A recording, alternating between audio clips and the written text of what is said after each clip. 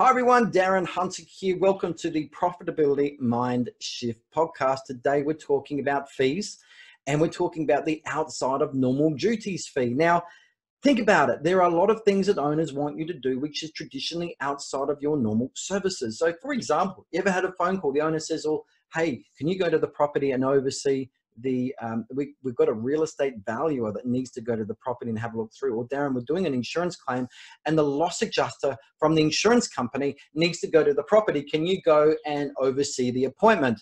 Or a salesperson needs to go to the property and do a market appraisal or something and someone needs to go and help them in open up the property or whatever. It needs your time to hop in a car and go you don't want to do it for free. Also, what about renovations? The owner says, well, hey, can you go and get me three quotes on this and three quotes on carpet and three quotes on a painted? All of these things are outside of your normal duties. Alrighty. So you need to have an outside of normal duties fee and do it at an hourly rate or a fixed rate, you know, two, three, four hundred dollars or an hourly rate.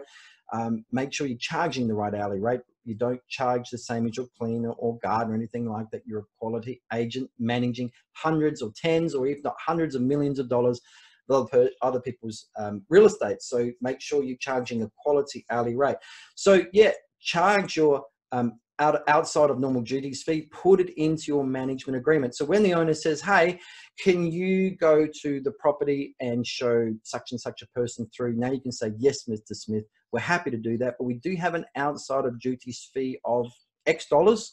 Uh, what would you like us to do? And, in a lot of cases, the owner may turn around and say, hey, look, no, that's cool. Um, I won't worry about it. I'll go and do it myself, or it should be okay, or whatever. They've now qualified the situation because you've got a fee attached to that. Take care.